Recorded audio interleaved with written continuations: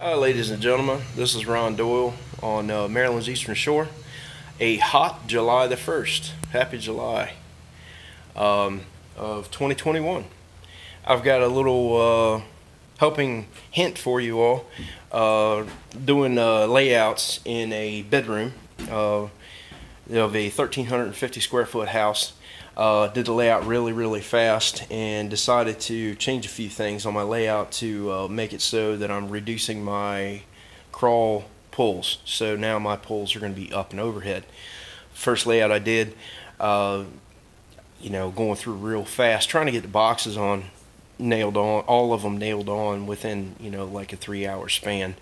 Um, it's practical, uh, but sometimes you'll find yourself putting a box where you will put a location such as underneath of this window right here. Now that you have to do an underneath pull or you're drilling through a lot of laminations which is not easy and you have a, a corner that's not open. It's a box stand corner.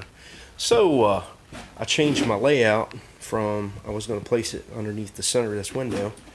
Now I'm putting it over to the side reduces my underneath pulls. But uh, I want to show you all how I remove a Carlon plastic nail-on box. It's a 20 point 20.3 cubic inch and uh, a lot of the uh, a lot of times these boxes are removed they're removed by someone other than myself um, the framers the, the plumbers uh, a lot of these tubs that you see behind me are installed by the plumber.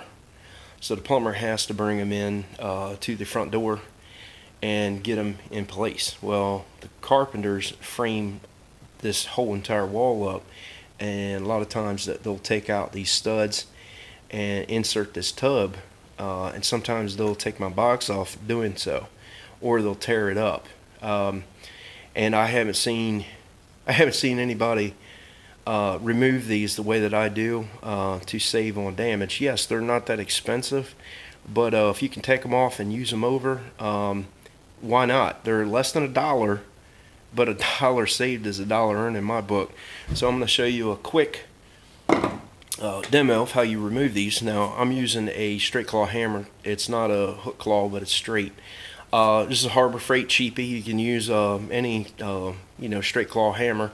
I just prefer the uh, smooth sides so you can side beat beat nails and staples in. Um, but uh, here's a little demo. And I don't have a camera, guys, so I'm going to put you on the floor and show you. But you basically put the hammer in between the top edge of the box. This is the strongest part of the box. And in between, I'm sorry, in between the box and the stud. So you're going to put this in between there. You're going to cam until you see it move. You're going to put it on the bottom and you're going to cam the bottom out. As soon as you get a certain portion, go back to the top. And the idea is not to tear the plastic up, but to keep the nails straight. So I got it out. And what I do I place this box up to the stud I tap these nails right back out. Now, looking at this,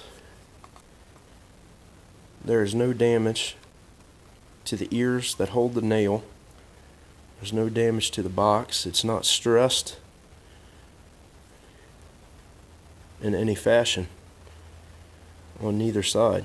It's like new. No damage. Now you can use it over.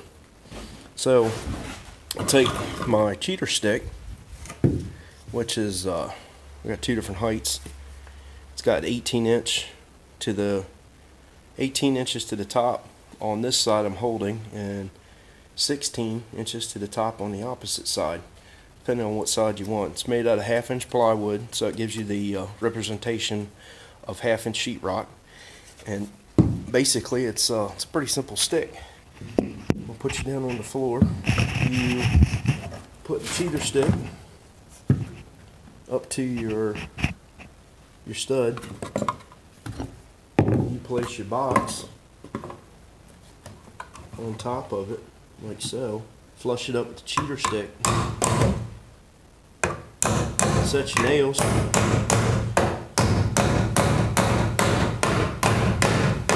And drive them home. Now what this cheater stick will allow happen is the plumbers have already put a nail plate on me. And this is going to make the sheetrock out a little further, approximately a sixteenth of an inch.